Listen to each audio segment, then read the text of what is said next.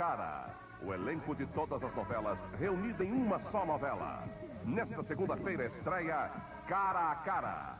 Com Davi Cardoso, Débora Duarte, Luiz Gustavo, Irene Ravache, Rolando Moldrin, Fernanda Montenegro, Fulvio Stefanini, Maria Isabel de Lisandra, Fausto Rocha, Wanda Cosmo, Roberto Pirillo, Célia Coutinho, Edson França, Natália Timber, Rutineia de Moraes, Antônio Marcos e Baby Garru.